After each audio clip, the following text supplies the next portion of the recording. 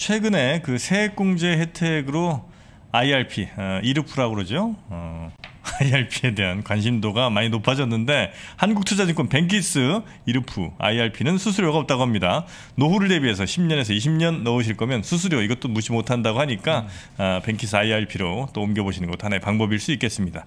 참고로 어, 삼성 Galaxy 어, foldable은 어, 이번에 방수 기능이 추가된답니다. 지금까지 아. 그 없는 폰이에요 방수 기능. 예, 물에 네. 빠지시면 안 됩니다. 네, 다음도 그럼 어떻게 저 foldable로 가십니까? 어. 그 정프로님이 김프로님하고 네. 이 foldable 얘기를 가끔씩 하셨었잖아요. 아 그랬죠? 네, 뭐 foldable 쓰면 좀 뭐 아재고. 아 그런 건 아, 그런 얘기 하실 때마다 제가 네. 방송을 보면서 네. 꼭 얘기하고 싶었었어요. 아 그렇습니까? 네. 아니 이게 우리가 휴대폰의 역사를 보면 네. 액정이 디스플레이 화면이 옛날에 이제 그 피처폰 시절에 음. 흑백의 TFT LCD라고 있었잖아요. 그렇죠. 조그만하게. 네. 그래서 휴대폰의 역사를 보시면 디스플레이는 계속 커졌어요. 그렇죠. 네, 그러면 커질 때마다 뭐 큰 거 쓰면 아재고, 네, 작은 거 쓰면 뭐 젊은 친구. 아. 네. 그 뭐. 그 무슨 논리입니까? 아니 그 근데 그거는 우리가 정할 건 아닌 것 같아요. 왜냐면 사람들이 그렇게 느끼는데 어떻게 할 거예요. 예, 네, 우리 저 요즘 뭐 젊은 분들 봐봐요. 그 20대 대학생들 중에 네. 저 foldable 아니, foldable이 나쁘다는 얘기가 아닙니다. 네. foldable 쓰시는 분들보단 어, 이른바 뭐 iPhone이라든지 이렇게 쓰시는 분들이 네. 그 선호도가 굉장히 좀 높아지고 있다. 이 네. 트렌드는 우리가 또 알고 있어야 되는 거 네. 아닙니까? 아니 정프로님하고 김프로님이 너무 이 지나친 선입관을 좀 가지고 계신다라는 좀 생각이 들어가지고 아, foldable 좋다 이거죠. 네. 네. 아니 그 또 뭐 말 나온 김에 조금만 더 할게요. 네. 네. 아니 그 Galaxy라는 시리즈가 네. 2010년에 나왔었거든요. 네. 삼성에서. 네. 네. Apple의 iPhone이 2007년 6월달에 나오고 난 이후로 음. 이 스마트폰 시장에 완전히 지각 변동이 그렇죠. 일어나잖아요. 그 동안에 피처폰 뭐 다 죽어버리고요. 음. 하물며 Nokia가 만들었던 그 BlackBerry 음. 또 죽어버리죠. 네. 그렇게 Apple의 iPhone이 스마트폰의 지각 변동을 일으키면서 음. 전 세계 1등으로 딱 올랐었는데 네. 그때 Motorola, Nokia, 뭐 삼성전자도 휘청했었거든요. 네, 네. 이 모바일 사업부나. 음. 근데 2010년에 이 Galaxy S가 처음에 나왔을 때 네. 그때만 하더라도 아유 카피다. 네. 네, 막 되게 비아냥거렸었어요. 맞아요, 맞아요. 그러다가 갤, 삼성이 이제 역전을 한 게 2011년도에 Galaxy Note 시리즈가 나와요. 네, 네. 그때 이제 대면적으로 나오죠. 그때 아. 대면적이 딱 나왔을 때 스티브 잡스가 뭐라고 얘기했냐면 그 한 손에 쥐기가 힘들기 때문에 그거는 안 된다 실패다 음. 네네네. 라고 얘기했다가 지금 iPhone은 다 큰거 뭐 쓰잖아요 그렇죠 그렇죠 6.2인치 네. 나오니까 6.2인치 네. 그래서 그 핸드폰의 역사를 보면 음. 계속 액정이 커져요 그리고 한 번 커지면 작은 걸로 잘 못 돌아갑니다 요 내용은 우리가 저 갤럭시 저 폴더블 3 저 광고 받고 하면 어떨까요? 그래야 되겠어요. 네, 너무 홍보가 좀 지나치신 것 같아요. 아, 뭐 좋다니까요. 네. 네. 자, 마케팅 담당자 잘 한번 생각해 보시고 연락 주시기 바랍니다. 자, 그러면 우리 유한타증권의 박현상 차장님과 함께 오늘 증시 마감 상황도 한번 살펴보도록 하겠습니다. 네.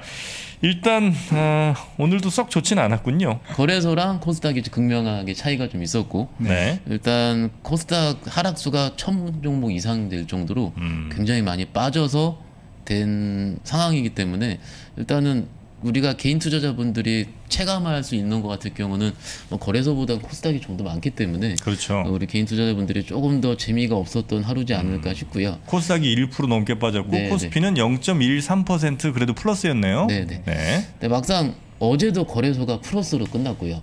음. 오늘도 플러스인데 제 개인적인 체감으로는 3일 내리 빠진 것 같아요. 네.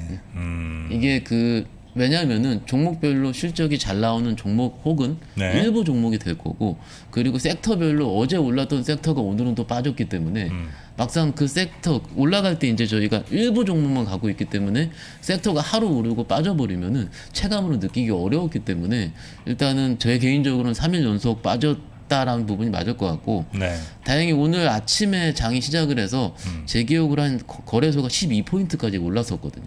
오르 올랐다가 10시를 기점으로 해서 하락 반전을 좀 했었는데 10시는 또 중국이에요? 중국이 시작 동시효과가 들어갈 때죠. 에. 예. 그래서 좀 그때부터 빠지기 시작했고 일단 제가 항상 약속에 2시라고 얘기하잖아요. 네. 근데 약 오늘은 11분 정도 늦어가지고 좀 늦어 약속이 있었나 봐요. 그래서 2시 11, 분부터 반등이 좀 나왔군요. 예. 아, 네. 그래요? 예. 반등이 나올 때 저희가 네. 수급을 살펴보는데 네. 수급 살펴보니까는 그 금융투자에서 4천억 이상 매수를 매수를 하면서 음. 거래소를 땡겼고요. 음. 그리고 코스닥 같은 경우는 외국인이 거의 2천억 가까이 팔다가 네. 매도 규모를 줄이면서 코스닥 같은 경우는 끝나긴 했어요. 결론적으로 오늘 그 거래소가 상승한 원인 같은 경우는 금융투자의 수급이 강하게 들어왔기 때문이다라는 게 맞을 것 같고 코스닥 같은 경우는 그런 반등이 조금 나왔었던 이유 같은 경우는 외국인이 조금 매도 규모를 줄였다라는 게 맞을 것 같아요. 음. 이제 기술적으로 봤을 때 거래소 같은 경우는 오늘 61선 살짝 이탈했다가 좀 올라오는 모습을 보였는데 네. 코스닥 같은 경우는 강하게 21선을 깨버린 상황이긴 하거든요. 음. 그래서 일단 기술적으로 봤을 때는 지금 뭐 여태까지 대부분 분들이 거래소보다는 중소형주 쪽으로 매매를 해야 되겠다라는 전략이 맞았는데 오늘 같은 경우는 조금 이탈해버린 상황이기 때문에 내일 시장이 빨리 반등이 나와서 어느 정도 JH를 빨리 회복하느냐가 일단 시장의 키포인트지 않을까 싶고요. 네. 일단 제가 아까 저 개인 투자자분들이 좀 체감이 안 좋다 말씀드렸는데 아까 한 10시 정도까지 올랐다 말씀드렸잖아요. 음. 근데 플러스가 나는데 뭐 투자자분이 저한테 카톡이 왔어요. 도대체 뭐가 오르는 거냐고.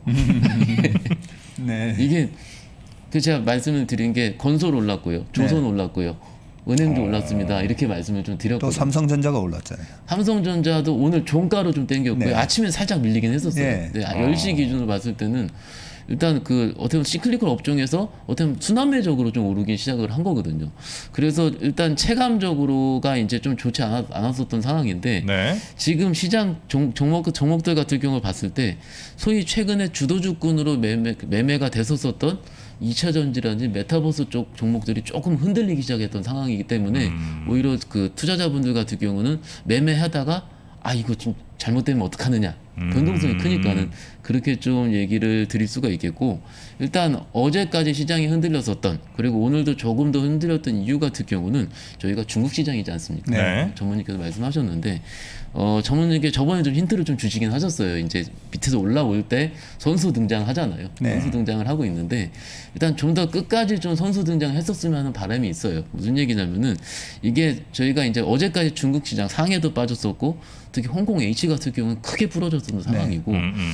어, 좀 오르긴 했었는데 결론적으로 일단 홍콩 H 같은 경우 2.1% 항생도 1.5% 플러스고 그리고 그 상해 같은 경우는 0.5% 정도 마이너스긴 하지만 저희가 봉으로 볼 때는 이렇게 십자봉이라 얘기를 하죠. 음. 그래서 좀 강한 양봉이 크게 올랐으면 좋겠는데 네. 그게 중, 장중에 흔들렸기 때문에 음. 저희 지수 자체도 크게 탄력을 잊지 못했다라는 게 맞을 것 같아요. 음. 뭐 조금 있다가 뭐 지수 그 중시장 잘 얘기를 해주실 텐데 일단 그 오늘 하이닉스가 그 오늘 최저점을 또 이탈하는 상황이긴 네. 하거든요. 아. 그 이유 자체가 이제 여러 얘기가 있어요. 뭐 재고가 정상 수준 또는 다소 높은 곳 파악이 됐기 때문에 뭐 이럴 수가 있다라는 내용도 좀 있고 그 증권사에서도 네.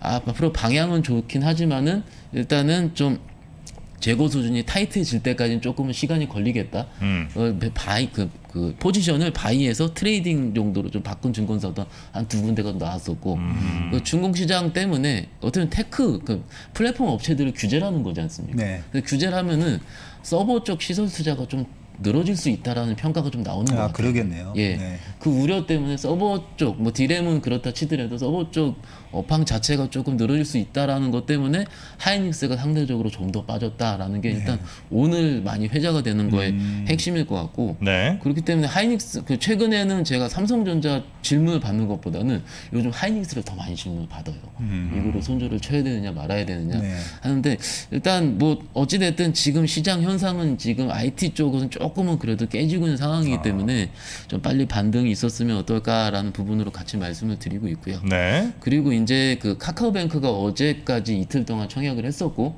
저희가 이제 중국 시장을 빼고 최근 시장 약세의 원인을 얘기할 때 같은 경우는 공모주 IPO가 크게 나오게 되면은 그 청약이 들어갈 때 시장을 지지할 수 있는 유동성이 빨아들이기 때문에 그럴 수 있겠고 음. 그러니까 예전에 SK IET부터 시작해서 여러 가지 종목들을 봤을 때 환불일 날에 좀 장이 좀 잘 올랐거든요. 네. 네. 근데 환, 내일 환불됩니다. 아 청약했던 음. 자금이 내일 환불되군요. 네, 내일 환불이 돼서 네. 조금은 내일 시장 반등을 좀 음. 기대하는 중이고요. 근데 IPO 또 뭐뭐 뭐 준비하고 있지 않아요? 금방 다음 주에 크래프톤 또 있습니다. 그러니까 아, 그래서 네. 그래서 뭐 이제 사기 좀 애매한 것 같은데. 그 직원이 오늘 어떤 얘기를 했냐면은 그 이제 저희 고객들 중에서도 이제 그 투자하신 분들이 그 청약하신 분들이 있지 않겠습니까? 그러면 이제 내일 시장이 저희는 누구도 바라없겠고 정말로 내일 반등이 나왔으면 가장 원하는 저희 직원들로 부천지점 직원들로 봤을 때 음. 이거를 그 환불이 되면은 저희가 이제 자금이 들어오게 되면 그 자금을 가지고 신규 주식 투자를 시작하실지 음. 혹은 하루 이틀 더 기다렸다가 다음 주에 크래프톤 청약을 하실지가 핵심이거든요. 아마 크래프톤 청약을 하기 위해서 기다리지 않을까라고 네. 예, 예상은 하는데 음. 일단 그 투자자분들을 물어보자. 저희 회사 같은 경우 주간사 아니었기 때문에 그걸 음. 직접적으로 눈에 볼 수는 없었, 없었고 네. 일단 투심 자체가 어떻게 좀 바라 어떻게 좀 바뀌느냐. 하는 게 일단 내일의 투자 전략일 것 같아요. 그래서 결론적으로는 중국 시장, 홍콩 시장의 반등과 내일 환불되는 자금이 어떻게 주식장을 얼만큼 흘러 들어올지가 반등의 키포인트가 되지 않을까 싶고요. 네. 근데 오늘은 좀 시장이 좀 재미가 없었잖아요. 네 재미가 없었는데 그 전반적으로 시장이 재미없을 때 나오는 여러 가지 현상들이 있는데 네. 최근에 기억해 보시면 스펙주들 네. 장이 안 좋은 스펙주들이 많이 올랐잖아요. 네. 오늘 그냥 스펙주들이 좀 반등이 좀 크게 나왔었던 상황이고 음. 근데 솔직히 스펙은 좀 투자가 굉장히 어려웠기 때문에 일단 오늘 그쪽으로 들어갔고 그리고 뉴스단 살펴보시면은 그 어제 그 이제 남북 채널에서 이제 전화 채널을 복구했다는 아, 뉴스가 좀 있었고 한라인 연결 뭐 이런 거요. 네, 네. 있었고 오늘 장중에 그 로이터 통신을 인용을 해서 뭐 신문 기사가 남북 정상회담이 논의가 된다라는 기사가 있었고 음. 그거 있다가 한한 40분 정도 있다가 청와대에서 그런 적 없다라는 뉴스가 또 나왔어요.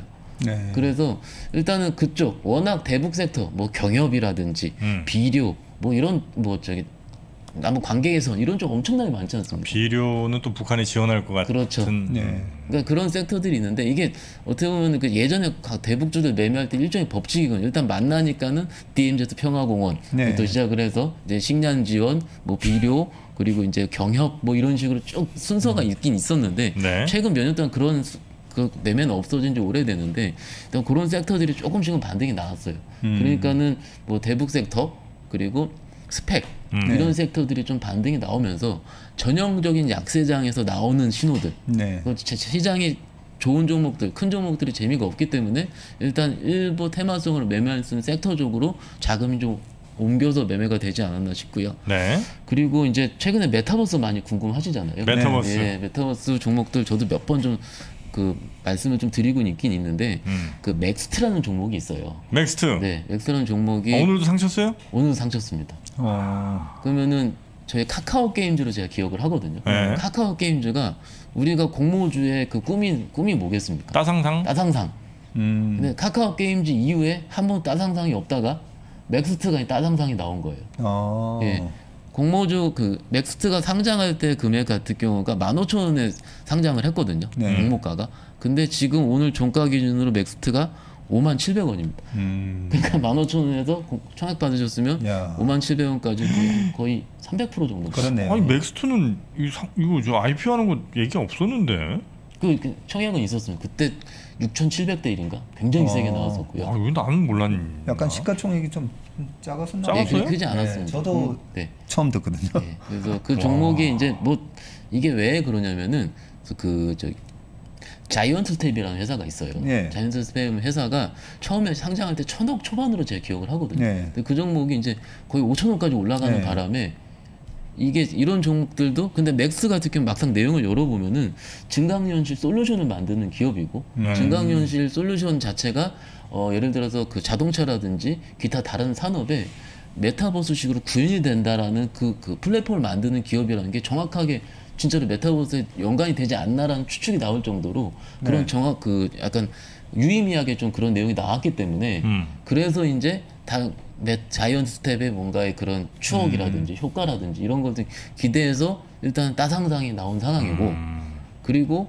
메타버스 관련주인 위지윅 스튜디오라는 종목이 있거든요. 네. 거기 VFX라 그래서 네. 시각 특수 효과. 네, 네. 그래서 우리 올 초에 있었었던 그 승리호의 그 시각 특수 효과를 담당했던 회사 네. 뭐 이런 음. 회사가 있는데 오늘 그 컴투스라는 기업의 인수가 될 수 있다는 기사가 약간 나오긴 나왔었어요. 아. 그 재료 소멸로 푹 밀렸었던 상황이고. 네. 그러면 변동성이 굉장히 커지거든요. 그리고 그때 말씀드렸었던 알체라라는 아, 그 얼굴 인식 만드는 스노우의 자회사 이 회사 같은 경우도 어제 같은 게 공시가 아 그 회사에서 보도 자료가 나왔는데 우리는 메타버스랑 전혀 관련이 없다. 아, 메타버스 식으로, 관련된 사업을 직접적으로 하지 않는다. 네, 그런 네. 식으로 나오면서 어제 20%가 빠진 상황이에요. 어. 그러니까는 적어도 저번 주까지 같은 경우는 굉장히 주도 섹터로 여, 기면서 들어가면 수익이 나는 섹터였다가 네. 맥스트가 상장을 하면서 그리고 어제 알체라가 약간 부인을 하면서 오늘 위지윅 스튜디오가 뭐 인수에 대한 내용이 좀 나오면서 음. 재료 소멸이 된 느낌이 나오면서 다른 섹터는 다 빠지는 거예요. 음. 그러니까는 아침에 소위 이제 그 시장이 밀려서 대형주 재미없었던 투자자 같은 경우는 그래도 매매해 볼 곳이 잊혀진 소재랑 메타버스다 했는데 그렇죠. 한쪽 축이 확 무너졌기 때문에 네. 투자자들이 실질적으로 매매한 투자자들 입장에서는 이게 조금은 어려웠던 거죠 시장 자체를 음. 받아들이기가. 근데 어제부터 그동안에 이제 최근 한 2주 동안 강세를 보였던 종목들이 네. 사실 어제부터 좀 약세를 보이더라고요. 네, 네. 음. 그래서 뭐, 이, 뭐 메타버스가 됐든 2차 전지 소재가 됐든 아니면 네. 뭐 의료 정비가 됐든 그동안에 강했던 것들이 약간 어제부터 좀 음. 약한 네. 모습. 네, 그래서 많이 오른 종목들이 좀 약하고 맞습니다. 오늘 저도 지수 보면서 어떤 종목들이 올랐나라고 봤더니 그동안 약간 또 소외되어 있던 주식들이 또 많이 올라왔더라고요. 음. 네. 네, 뭐 조원님께서 잘 말씀해 주신 것 같고요. 이게 그래서 최근에 소위 우리가 좋아했었던 섹터의 종목들이 실적 컨셉이 굉장히 악화됐었던 상황이거든요. 네. 그래서 오늘 같은 경우에 OCI라는 종목, 태양광 아시죠? 네. OCI가 실적 발표를 2시 후반대에 했어요. 네. 제 기억으로. 근데 컨센 그러니까 발표한 2분기 영업이익이 1,663억에 나왔는데 네. 컨센서스가 1,100억이었거든요. 네. 근데 오히려 오르지 않았습니까? 오늘? 오늘 올랐죠. 예. 그러니까는 최근까지는 그렇게 썩 유의미하게 반등이 나오지 않다가 예. 컨센 대비해서 한 40% 이상의 실적 발표를 하니 2시 50분부터 3시 반 정도까지 한 2, 30분 정도 시간 동안에 4%를 한 번에 땡기더라고요. 아, 그러니까는 네. 시장 같은 경우는 최근에 올랐었던 종목에 대한 거에 부담감이 있어, 있었던 상황이고 네. 그리고 빠졌던 섹터에서 시장 대비해서 좋은 우리가 유의미하게 혹은 실적이 반등이 나오는 종목들을 좀 강하게 땡기는 시장이고 음. 네. 뭐 어제 삼성 SDI도 그랬고요. 음. 그런 식이기 때문에 지금의 실적 발표 시즌은 항상 이런 식의 형성이 되어 있었었거든요. 네네. 네. 확인하시면 좋을 것 같고요.